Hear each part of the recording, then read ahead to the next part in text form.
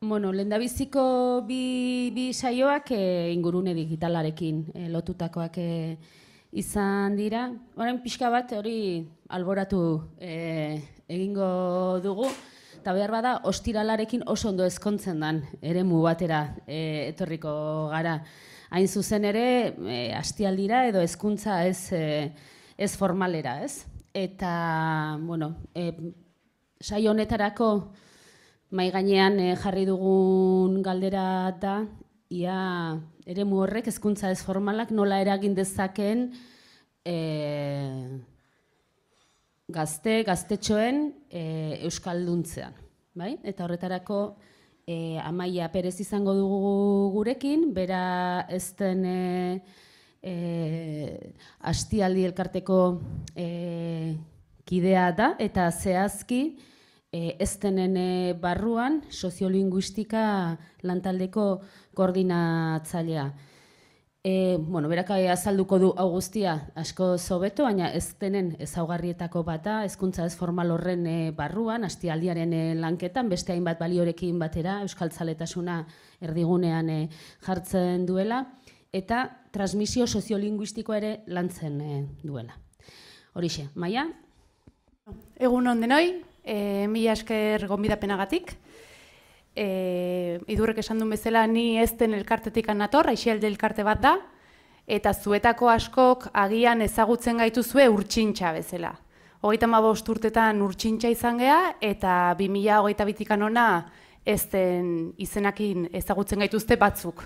Baina, bueno, ezakin noiz arte esan behar da nahu egia esan, eh? Ze nere txen, edo, bueno, nere amai galdetzen bali madiote ean uniten duen lana amaiak, oa indikan esateu lehenoko urtsintxan. Eta hoi igual izan daiteke, hemendikan amar urteta berdin jarraitzen dugu.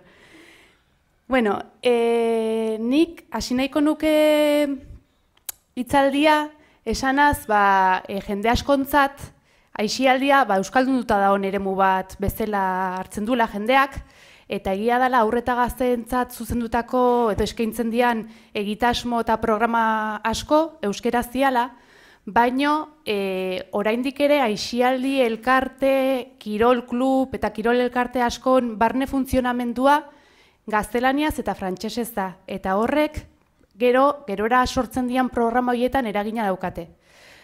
Eragina dauka. Ordun, aixialdia bai euskeraz, Baina, markatu? Hasi geha? Oh! Bat pasakoet. Baina, euskeratik sortu behar da, bai? E, gure ustez, euskerako eskaintza e, eote utxa ez da nahikoa. Baizik eta lanketa bat egin behar da, e, bai antolaketan iten dana, edo eta baita e, ezitzaileekin, lan egingo duten profesionaloiekin, e, iz, bueno, izkuntzan gai alantzea, behar beharrezkotzat ikusten dugu. Bai? Ordun. Ai, areaka, bai. Zergatik handa isialdia proposa, e, ba, gazten euskalduntzeako.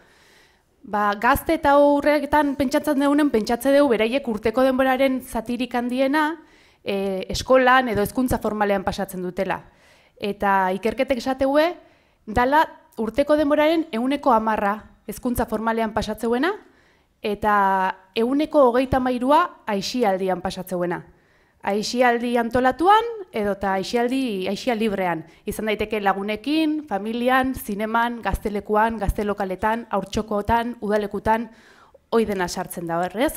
Orduan ikusten da, denbora asko pasatzen dutela gazteek aixialdian, eta e, aixialdia euskeraz bizitzeko eta euskeran e, aixialdian erabiltzeko e, ba, plazak edo e, eskini bartzaizkie, eta orduan aixialdiak euskeraz izan behar dut, eta beraiek erabiltzeko aukera hori uki behar dute. Ezkuntza formalak beti edukiaren presioa edo, beti esate dugu, edukin presioa daukala, aixialdiak ez dauka edukien presioi eta balioen transmisioa askotan aixialdian egiten da. Hizkuntzaren transmisioare bai, aixialdian egiten da, eta gainea, ba, ezkuntza formalean ematen ez dian egoera batzuk suertatzen dira aixialdian eta egoera informaletan eta e, lagunekin, lagunizkera edo beste e, hizkuntzaren transmisio bat egiten da. Eta horretaz gain, ba, sortzen dian edo eta prestatzen dian egitasmotakintza guztik dia e, ba, ondo pasatzeko lagunekin, e, beraiek atsegine sartzen dituzten ekintzak, ordun e, daukate euskerarekin e, bizipen positibo bat, eta helburua izaten da motivazion eta gaitasunean eta baita erabileran eragitea aixialditik ere.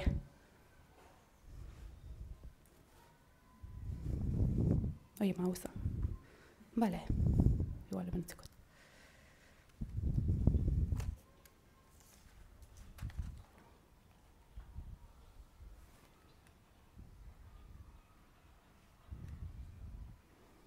Vale.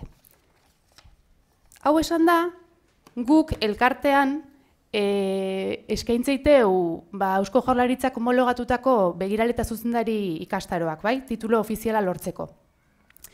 Eta Eusko Jaurlaritzak kurrikulunean ja eduki batzuk zehaztuta dauzka, et, en, bueno, en dia gai oso desberdinak eta hizkuntza normalizazioa ez da sartzen kurrikulunean.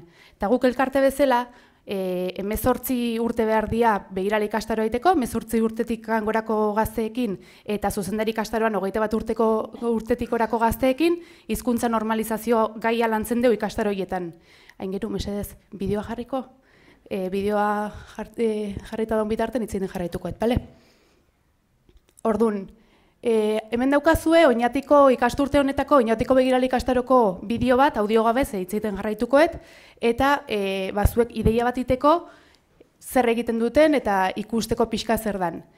E, esan dizueten bezala, kurrikulunean gai batzuk zehaztuta daude, gaiak oso anitzak dira, ba, planifikazioa balazioa, aixialdiko egitasmoak, ingurumena, e, inklusioa, kultura arteko tasuna, ezkidetza, ezik eta efektibo seksuala, bai, gai asko daude. Eta hizkuntza normalizazioa ez da sartzen. Ordun, ez erabakitzeu gerrigorrezko gai guzti horietaz gain, hizkuntza normalizazioa gaiare baita ezitzaiekin lantzea. Gazte hauekin lantzea. Azken finen, gazte hauek izango dialako gerora, ba, ondorengo belaunalditako aurreta gazteekin lanean aituko dianak, eta beraien erreferente eta eredu. Ordun, e, saio batzuk emate zaizkie, soziolinguistikako e, oinarrizko kontzeptu batzuk lantzen dira, eta horretaz gain, ba, hausnarketa egiten dugu hizkuntzen inguruan eta, eta euskararen inguruan, eta beraiek dituzten hizkuntza ohiturak e, horiek behatzen dira, eta bueno, ba, emate zaizki ere baita, ba, aurreta gazteekin gerora erabili ditzaketen motivazio estrategiak eta tresnak eskaintze zaizkie ere bai, euskararen erabileren eragiteko. Ordun, e, hizkuntza normalizazioa gaia ez da saio huts baten gehatzen. Hau da, e, ordu batzuk badauzka, baino gero edozein irakasle juten dela bere gaia lantzea, euskara zehar lerroa da. Eta denek presente daukaten gauza bada. Jarraipen aite zaio ikasle bakoitzai eta baita taldeari ba, e, ze gauzak suertatzen dian edo ikusten bali madeu zerbaitek atentzio ematen digula hizkuntzaren inguruan, naiz eta saio hiek ja eman dauki, beharrezkoa balima da, beste eskuartze batzuk iten dira. Bai? E, bueno, azken finen, guk bilatze deuna, diskurtso bat eukitzea hizkuntzarekiko garrantzitsua da, baino gehiago bilatze deuna praktikak, jarrera eta jokabide onak eukitzea erreferente izango dian hauek ere eta hausnartuta eukitzea beraiek zergatik egiten nahi duten lan euskeraz edo bizitza euskeraz. Hemen ikusten dituzue irudi desberdinak, men animazio tekniketan, hau ingurumen saion. Bueno, ideia bat itezu ez? Aingeru.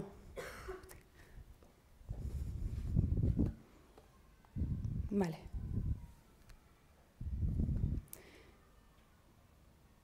Profesionalak eztearen garrantzia, e, bueno, ikusi dugu zein dan, eta hauei, hauek egongo dianez lanean, bai aurreta gazteekin, e, bereiek egiten duten lanketa hoi, edo guk bereiekin egiten dugu lanketa hoi, da bideratuare baita, gero aurrekin eta gazteekin egingo duten lanketa horretara bideratuta dago.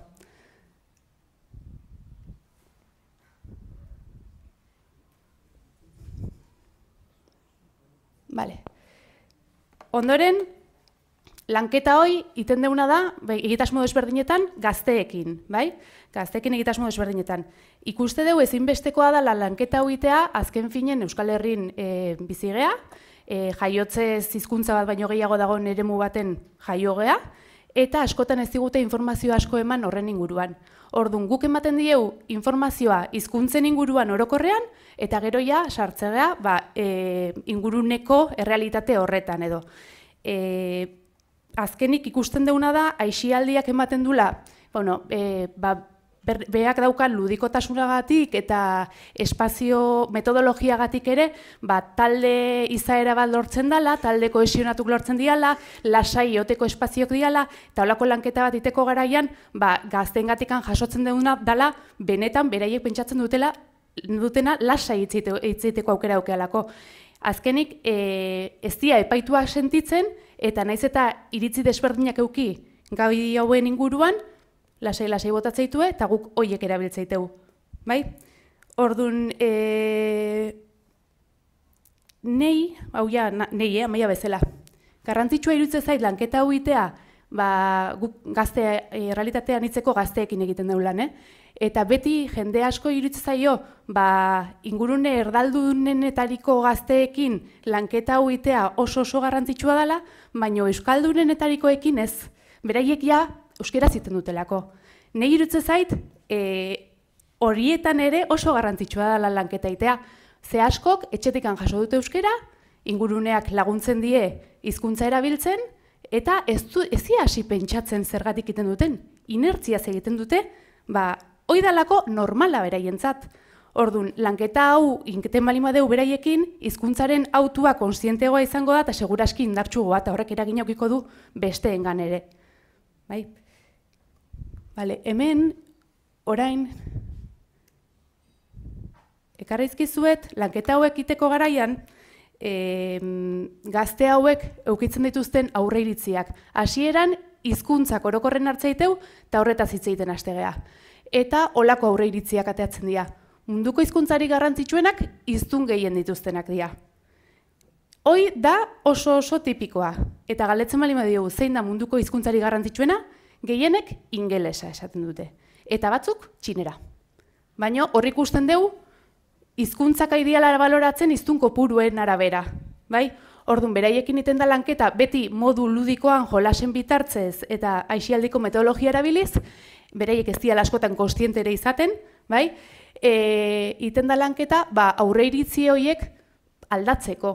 Eta beraiek ikusteko, azken finen, hizkuntza guztik diala garrantzitsuk, bai ezin diala hizkuntzak hiztunko puruen arabera baloratu eta normalen ba bakoitzantzako bere hizkuntza da, izaten dela garrantzitsuna eta horrek bere logika badaukala. Beste aurre iritzi bat izatea ba hizkuntza gutxituk diala hiztun e, gutxi dituzten hizkuntzak. Aurre iritzi hau eukitzeue ez dakitelako zer dan hizkuntza gutxitu bat, inorrek erakutsi ez dietelako zer dan hizkuntza gutxitu bat. Hezkuntza formalean ez dute hau jasotzen. Bai? Eta berez badago tokia gauza hauek lantzeko. Eta proposa izan daiteke ere, baino ez da egiten. Ordun, ba, guk azalpenak ematen dizkiogu, edo hainbat dinamika bitartez, junten dia ikusten zer dan hizkuntza gutxitu bat. Eta beste aurre iritzi oso tipiko bada, hizkuntza batzuk bestea baino errazagoak dira, eta euskera oso zaila da. Eta hori errepikatzen dute, behin eta berriz euskera oso zaila da. Askok etxetikan jasotzen duten e, aurre iritzia da ere, bereien etxeetan ez dakite oso zaila dalako. Eta barrenatuta dago, Eta gaina, denek sinesten dute, hola dala. Ordun aurre iritzi hauekin ere jolasten deu pixkat.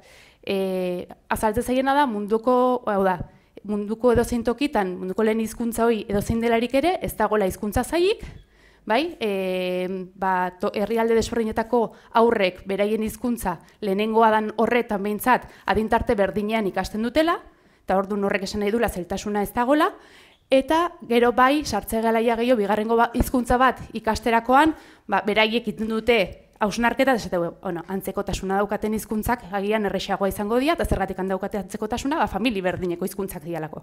Eta lotura horretara iristen dira. Baino, oraindik ere esaten dute, baina euskera oso zaila da. Eta ordun, ba, jartze zaie, ba, demagun, e, zakitidurrek dakila euskeraz bakarrik, eta nik aztelaniaz bakarrik dakit dela, eta ikasi behar deula batak bestean hizkuntza. Eta esate zein da zeiagoa, pereek esatute, euskera. Ze, baina, a ber, ez alda berdina, distantzia, bai? Euskeratikan gaztelaniara edo alderantziz da ona. Bai, baino gramatikalki, baino pentsatu ez dakizuela bestea. Orduan ja, hasten dia pentsatzen, ah, ba, ba igual arrazoi daukazue. Ez igual hola da, edo holako aurre iritzikin jolastegea. Vale. Gure, berkatu. Gure egitasmo hauen e, helburua da, beraiek hizkuntzaren autokonstiente bat egitea, bai, e, benetan kontziente izatea ze hizkuntza erabiltzen dituzten o ze hizkuntza erabiltzen duten eta zergatik. Eta bilatzea ea aukera ba, euskera gehiago erabiltzeko aukera badituzten eta ea prest dauden eta horretan motibatzen. Ez dieu bakarrik aurri eri- ez gea bakarrik usteetan eragitea juten edo eta aurre lanketa bat itea juten, baizik eta beti jolasak erabiltzen dira, ludikotasuna erabiltzen da eta hizkuntzaren alderdi estetiko ludiko horrekin jolastu itegea. Sormenare bai euskeraz bideratuz eta hizkuntz jolas desberdinak inez eta askotan ez dia kontuatzen hizkuntz jolasak nahi gala, beraientzako dira e, jolasak ondo pasatzen nahi dira eta bitarte horretan ba ozkotasuna eta lantzen dute. Helburua azkenik euskera gehiago erabiltzea batzukin lortzen da, beste batzukin, bueno, berai dituzten aurre iritziak eta mezu ezain ze badaude, e, mezu ezkorrak dituzten gazteak ere, ba saiatzea, gazte hoiei behintzat mezu hoiek aldatzen. Askotan izaten dalako e, ba, ez dakit, gaztelaniaz edo eta frantsesez hitz egiten duen e, gazte bat gati, bati olako lanketa bat egiten hasi eta ja lehenengo gauza izatea. Ja, ja, ja, bai, bai, hau oso ondo, baino nik gaztelania zingo dut, eh? Oso ondo. Eta zergatik euskerak akaba da. Barkatu, euskerak akaba da? Guazen behiratzea, ea, hola dan, edo beste zerbait da horratzetik. Eta askotan konturatzen diana da, ez daukat gaitasun nahikorik hizkuntza erabiltzeko, esfortzu handia suposatzen dit, horregatik ez dut erabiltzen, eta igual ez da euskerak akabat dala baizik, eta nahi esfortzua suposatzeit. Eta ja mezua behintzat aldatu da. Igual ez da inbeste e, hizkuntzaren erabileran, baino badao hor ja bere aletxoa jarrita. Oi, area bai, barkatu. Jat nahi zuiten, eh? Bueno, guk, e, bai, eskerrik asko. Egitasmo guztin bukaeran iten deu beraiekin ebalaketa bat, talde ebalaketa bat, eta e, gaztei emate zai ere baita galdetegi bat. Eta galdetegi horretan, ba, hainbat galdera daude, eta bat izatea, zer ikasi dezu. Eta zer ikasi dezun horretan, olako gauzak ateatzen dira, menekarrizkizuet batzuk, eh, ideia bat eukitzeko. Lehenengo gazteak esateu, hizkuntzek duten garrantziaz eta beste herrialdetako pertsonekiko ditugun aurreiritziez konturatu naiz. Ez da gutxi, bai? Ze askotan aurreiritzi horiek oso oso barneratuta dauzkate eta gainea esate zaienen, baina ezagutzen aldezu herrialde hortako gazterik ez. Eta ordun o etxetikan jaso dut, edo telebistak erakustitena, edo komunikabideek, edo dena dalakoa. Baino ez da beraiek, beraiekin bizi dutelako. E, beste batek esateu hizkuntzak baloratzen ikasi dut, beste batek anistasuna ona dela, zentzu guztietana aukera esan nahi duelako. Bai, e, dinamika desberdinak iten diare baita, eta beraiek kontuatzen dira, e, ba, ze aspergarria izango litzateke mundu bat, e, religio berdinakin, kultura berdinakin, hizkuntza bakar batekin, ez? E, ze gertatuko litzateke munduan, edo ze pentsatuko zenuke, munduan hizkuntza bakarra egongo balitz. Eta horretaz, ba, hausnartzen eta eztabaidatzen aitzen dira, eta gero galdetze zaie, eta zein izango litzateke hizkuntza hoi? Nei atentzioa emateit, esateuela ingelesa. Eta esatezu, baino, zuk ingelesa egunerokotasunean zenbat erabiltzen duzu? Baino, da, e, jas, ja, baino guk ikastetxean, eskolan, instituton edo danadalakon, irugarrengo hizkuntza bezala, ingelesa ikasi dugu. Eta helduek esan diguzue ingelesa ikasi behar degula. Orduan, aurre iritzi hori eraikita daukate, guk esan diegulako. Bai, eta oso barneratuta daukate. Eta kontuatzeia, ba, anistasuna ona dala, eta e, ba, hor errespetu kontuak eta gauza sartzen dira. Eta beste batek esan du, euskeraz edo zer egin daitekeela. Horretaz konturatu da. Ze gazte hauetako batzun errealitatea da, eskolan bakarrik edo institutuan bakarrik egiten dutela e, euskeraz. Vale. Bueno, orain azalduko izkizuet, e, guk ezten bezala, gazteekin egite diteun egitasmotako batzuk. Hemen daukazue jartzen du euskera batzordeak. E, hain gero, nebali mazu, mesedez? Euskera batzordeak. Guk e, ikaste... Ui, audioa dauka? Ez. Ez ati honek bakarrik igual ez? Bale, bai, lasei, bai, jarri bajo audio mesedez. Vale, euskera batzordeak e, ikastetxe desberdinen eskaeraz, euskera batzordeak eratzen laguntzen deiteu, ba, izi dutu eta ikastetxe desberdinetan, jutegea DBH bitikan batxillergoa bitarteko e, gazteen gana, e, gonbidapena egiten, bereien geleta, gonbidapena egiten diegu ea euskera batzorde bat sortu nahi duten, ba, ez daukaten ikastetxe horietan edo, eta nahi dunak parte hartzeu normalen e, eskaintzen dute beraien eskolaz kanpoko denbora, bai? E, denbora horretan izaten da eta e, beraien nahietatik ekintza desberdinak edo antolatu nahi duten hori antolatzen laguntzen diegu. Ordun, e, askotan izaten dira e, askotan izaten dira ba euskararen eguna, e, ikastetxeko aste kulturala, e, ba, korrika dala korrikako ez dakiz edo gurase, guraso elkarteak eskatu digu ez dakize antolatzea eta guk egingo dugu, baino beti beraien nahietatik nahi duten egiten dute.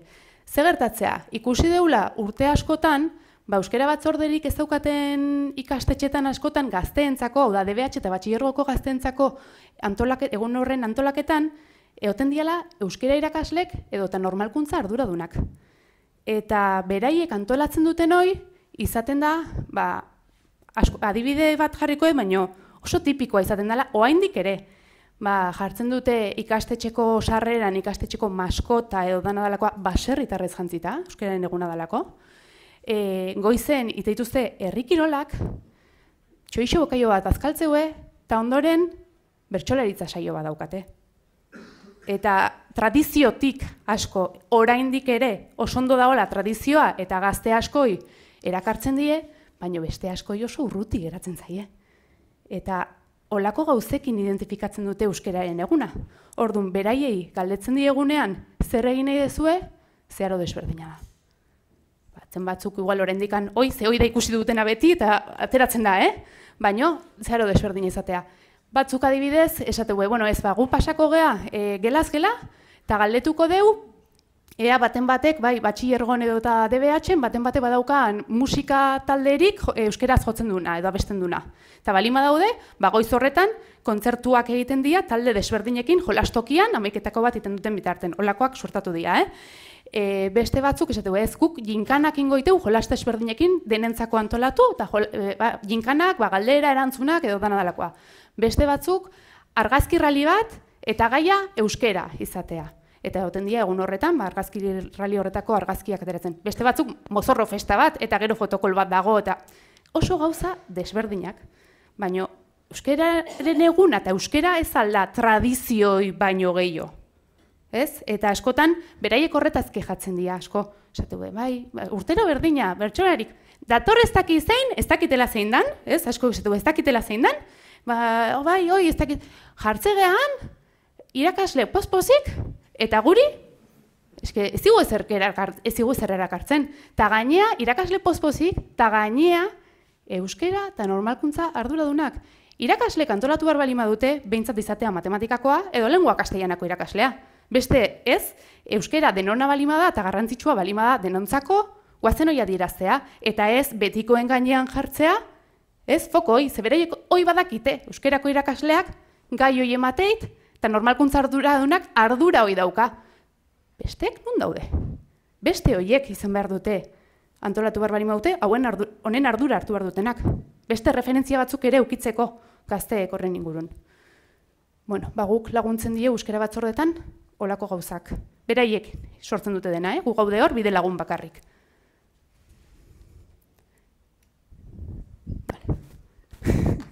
Bale, beste egitasmo bat da e, ikusika udalekuak.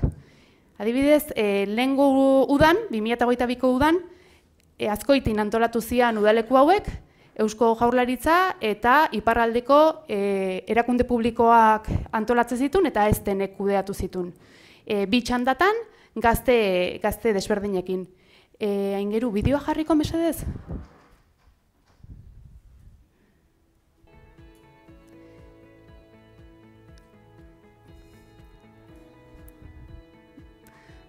Vale, e, nera bek dia, eh? Nik, nor, e, begiraleta zuzendari ikastarotan dia gaztek ja emezortzi hogeita bat urtetik angora, baina orain itzeingo eten guztik dia nerabek. Hau da, DBH eta batxillergo bitarte horretan dauden gazteak. E, hemen, udalekoan helburua zen, ikusentzunez, euskerazko ikusentzunezko sortzaile bihurtzea gazte hauek. Eta e, itezuten azan, lanketa hoi dezan beraiekin hizkuntzen ingurun, hizkuntza ohituren ingurun eta gauza guztioiek, eta horretaz gain, ba, bi txandatan testu inguru desberdinak edo interesgune desberdinak zeuden. E, elduxenak, elduxenekin bideogintza lantzen zen, bai azkenik hauzkotasuna, gidoiak sortu, idatzizko e, tasuna, dena, dena lantzen dalako, eta gaztetxoenekin berriz e, irratigintza. Eta orduan podcast ezberdinak sortzen jutezian egun ez egun. Eta gero jarriko izuet, ba, gaztetxoenek sortutako podcast zati bat bazuek. Bereiek sortua, bereiek jartzen dute musika, bereiek egiten dute bere dena.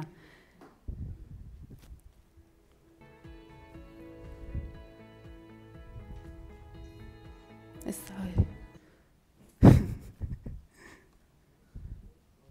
Ez, e, bat aurreago. Diapoa bat aurreago.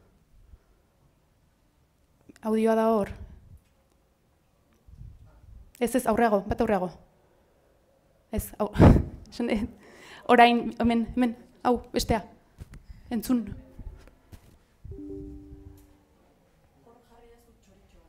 Bai. Hor dauka txoritxoak, bai. Kaixo entzule maite, espero dut ongi zaudetela. Bia, otzailaren emeretzia izanen da, eta goizean hogei gradu eginen ditu, eta ratxalean hogeita mabos gradu. Orduan, eguzkiko krema eman eta aurra edan. Gaueko zazpietar ditan, ordea borraska sartuko da iparmende baldean, eta temperaturak nabarmen egingo du behera. Beraz, badiatu eguzkia, gaueko, gaueko zazpitar ditan desargetuko baita. Ongi izan eta orain kirolen ordua izanen da.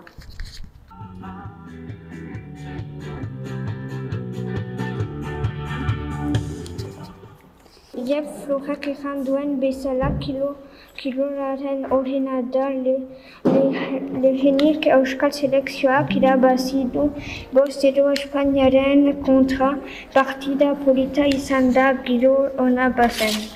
Bestetik pilotan madik hogeita bi hogei irabazi dio iratiri, eta orain jokoekin ustein zaituztegu.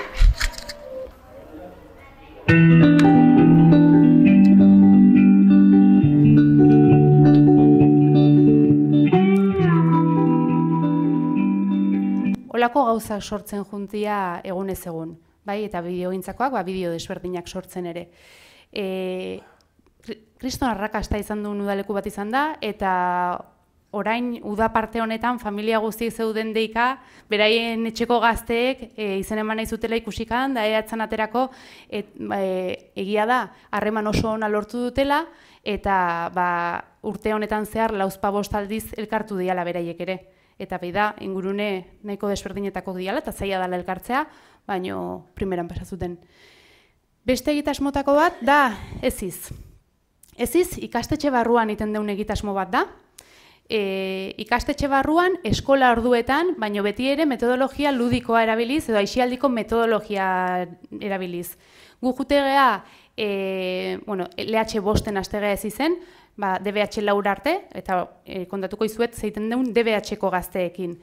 E, jutegea, beraien geleta, zortzi saio, zortzi aldiz, edo dana dalakoa, beste toki batzutan, batzutan gehiago, beste batzutan gutxigo, eta e, ite deuna da gela iristegea, lehenengo gauza maiak baztertu, borobien jarri, ja beste kontzeptu batzen gaude, ez gaude, eskolan gaude, baino ez da eskolako formatua. E, saio batzuk emango iteu, bai pation, jolastokin, beste batzuk gimnasion, beste batzuk elan, edo ikusentzunezko e, auditorio horretan, edo dana dalakon.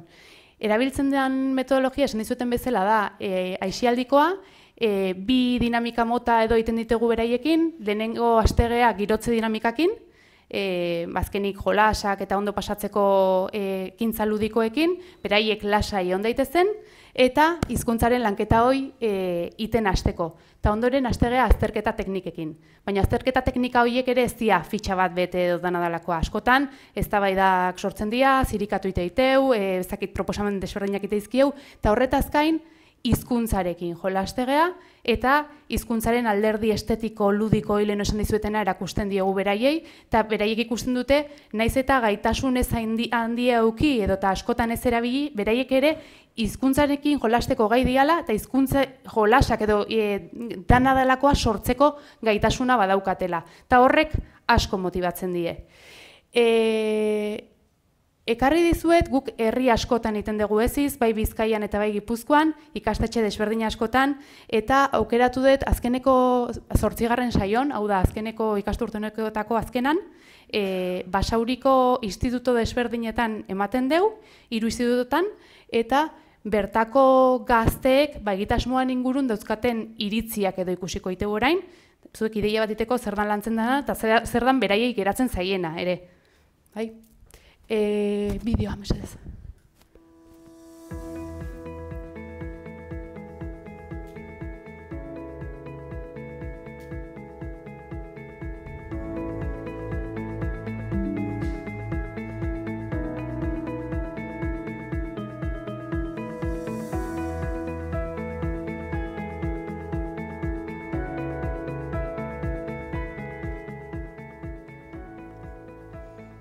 Munduko hizkuntza guztiai buruz ikastea eta jakitea haien garrantzia.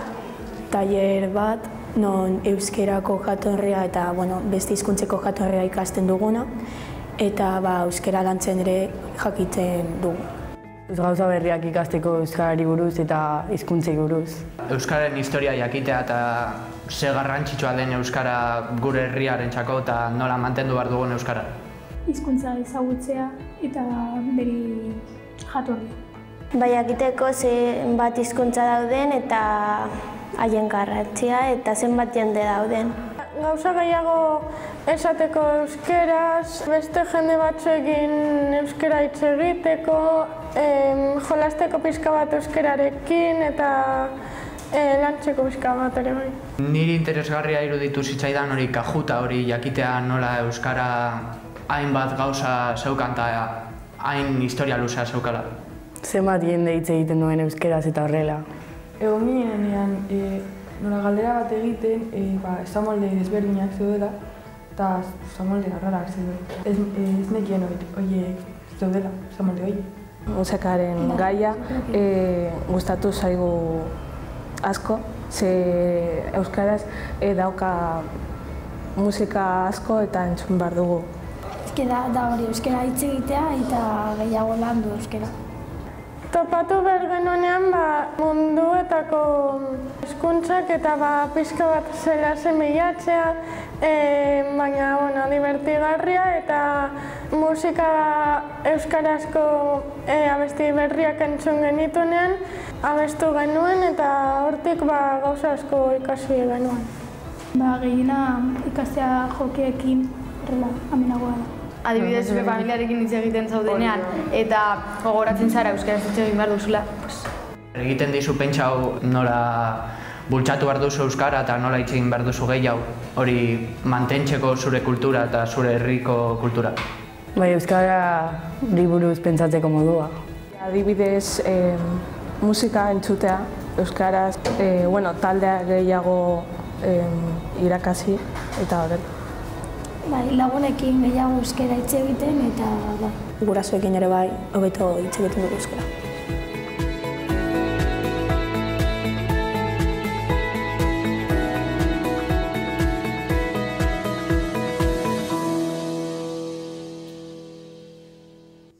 Ba, bueno, ikuste zuen bezala, lanketa horietan olako, gero olako erantzuna jasotzea itegu.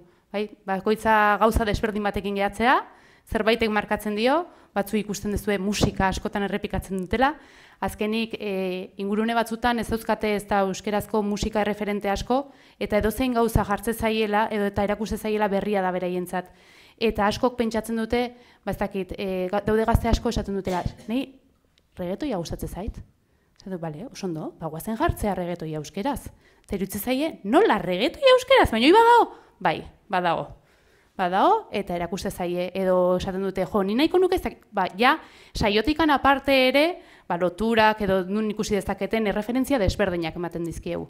Eta leno aipatutako ikusika udaleku horretan ere e, udalekuera e, juten dira ba, e, euskal erreferente desberdinak beraiek gero ba, podcasta edo eta bideoan eta laguntzeko edo eta ideiak hartzeko ba, e, influencerrak, youtuberrak, musikariak pasadiare baita ikusikatik. Bai? Eta hemen, ba, ez izen ikusten duzu batzuk gehatzen dira hizkuntzen lanketa orokor horrekin, baino gehienek jasotzen dute edo eta bizitzen dute ere baita e, bueno, hizkuntzena bai, baino bukatzen dugu euskeraren lanketa egiten. Eta egia da, gu ikastetxe batea jute bali mageala ez izematea, lehenengo gauza esaten dieguna da, esan ez iz egitasmoa ematea zela, baino ez okurritu esatea euskera tailer bat danik. Ze askotan eh helburu hoiekin ikastetxeko arduradunek ja lehenengo gauza, bueno, orain datorra maia euskera tailerrekoa. Ez barkatu. Esi, oi ez da, oi ez dugu nahi, nahi deuna da, guazen astea orokorretik eta guazen ikustea gero, ba, zuen errealitatea zein dan, eta zer egin dezakegun, eta prestaudeten edo ez, o ze behar dezuen, ze behar dezue, ze nahi zue bagoazen denon arten, hoi sortzea. Ondo zaudete hola, motibatuta zaudete, honek eragina dauka? Hoi bilatu behar dugu beraiekin. Vale? Eta azkeneko egitasmoa ekarrietena da, harrera hon. Harrera hon, e, Euskal Herrira azken bi urtetan etorritako aurreta gazteekin egiten den egitasmo bat da, e, adintarte desberdinetan elkartzen dira e, ikasturte guztian zehar urria hasieran hasi eta ekaina bukaerara arte, e, bakoitzat bere adintartean, hemen gaztetxoen taldea da amabi amasei urte bitartekoa, eta e, ba, dinamika ludikoak iten dira, bi orduz egoten dira ezitzaiek beraiekin astero egun konkretu baten e, adintarte horren arabera, hau da, amabi amaseiko kasteazkenetan elkartzen dira herri desberdinetan, e, ezitzaile batzukin, eta helburua da beraiei euskera gertuatzea, e, euskeraren ezagutza horretan laguntzea, eta baita herriek eskaintzen dizkieten baliabide horiek edo eta e, azpiegitura horiek erakustea zeintzu dian da beraiekin jun, ba, liburutegia, liburutegiko txartelaterako dugu, polikiroldegia jungo gea, hemen daukazue ba, elkarte desberdinak, hoi e, beraiekin egiten da. Eta horretaz gain, ba, herriak dauzkan e, hainbat e, elkarteren bastakit egitasmoak edo azaltze zaizkie eta ondoren beraietako baten batek horretan izena eman nahi balin badu ba lagundu ite zaie. Adibidez, Tolosaldean egiten da eta ba, azaltzen zaizkie ze aixialdi talde dauden Tolosan, ze gero aixialdi talde horiek ekintza desberdinak dituzte edo asteburu pasak edo da nadalakoa eta horretaz gain bainauteritan astelenetan e, konparsa ateratzen da, dantza egiten dute, eta ikusten dute, e, gazte hauek ere, ba, beraien eskolako gazteak bertan parte hartzen dutela. Eta beraiek ezakite zer egin behar duten horri zen emateko. Ordun aurkezpen egiten zaio eta gero zuk nun nahi dezu, egon, hemen parte hartu nahi dezu, guazen, izena emango deu. Edo, zen nahi dezula, e, jabetze eskolako ezakize ikastarotan izena eman, ba, denon hartzen ingo deu. Hori da, bai, hizkuntzanak badauka, bai, e, euskararen ezagutza horretan edo e, laguntzen diegu, egia da, beraiek hizkuntza askokin datozela ere baita e, jatorritik, eta berastasun hori eta niztasun hori aprobetxatze deu, besteen ere baita ezagutzeko, eta bueno, ba, bideo desberdinak, edo, zu nungoa zina, bale, ba, urrengo saiorako ekarriko dugu, eta ikusiko deu, ea hizkuntza hitz egiten dian zure herrialden, eta zuk hitz egiten dezuna da hau, edo, horren ingurun, ba, pixkate baita, ez e, panoramika handitu eta gero bai euskera gerturatu ba, bertan daudelako eta integratzeko modua ere bada. Eta, bueno, guk beste hainbeste egitasmo emat, e, emateiteu aurrea, egia da gehienak hizkuntza normalizazioarekin zerikusi daukatenak, diala, bai familiekin, bai gurasoekin, bai irakasleekin, hainbat gauza iteitu, eta gaur ekarri zuet, ba hemen gazteekin egiten deuna. Eta adibidez, ni orain hemendikan aterata, e, ni joa irunea, ze irunen udaleku irikitan egongo dian, laro, gukin lanen egongo dian, laro gehieta sei ezitzaiei, hizkuntza normalizazioko formazio bat eman bar diet. Ze gure eskolan edo gukin tituloa atera duten horiek jasotzen dute. Baino, gero laneako deialdi egiten dianen, ez dira bakarrik titulua gure eskolan atera dutenak baizik eta beste batzuk ere. Eta gure filosofia horren baitan lanitea nahi bali madeu, ba, hauei denai ere, olako formazioak eman bar dizkiegu. Eta mendikan, ba, noa, area. Eta bukatuet, mi esker.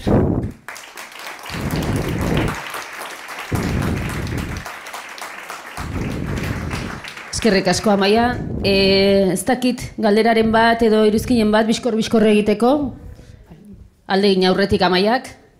Badago, norbait, zerbait esateko? Ez?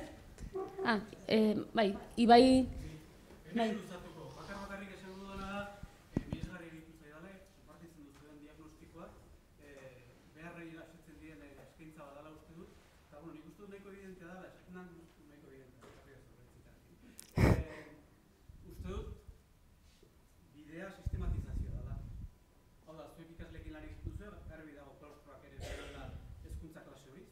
Mhm. Eta behar du gainek klaustro guztiek behar dute, e, zuek ematen duzuen e, ezagutzaren berri eduki behar dute, sistematikoki. Hau sistematizatzen. Ez da sistematizatzen, beste zer ez du balio. Eta, hau, azperiona. Eskerrik asko. Bai, e, bai, ba, nik hori, ba, esaldi batean ere labortuko dut, eruditu zait, ba, oso ekimen interesgarriak egiten dituzuela, Eta nik uste dut, ganera, gauza bat asko e, azpimarratu beharrekoa dela. Eta da, e, gazteek nolabait praktikaren bitartez egin dituzue gauzak. Ez, ez horren beste ba, teorizazio edo horren beste zera da.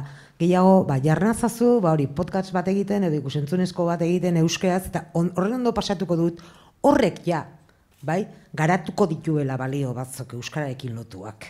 Bai, ja ez dut ikusiko euskara rollo bat bezala. Ikusiko dut tresna bezala, hain zuzen ere, ikusentzunezko simpatiko bat egiteko. Hortan, hortan datza. Eskerrik asko. Bueno, ba, bidaia, bidaia on eta, eta klase on.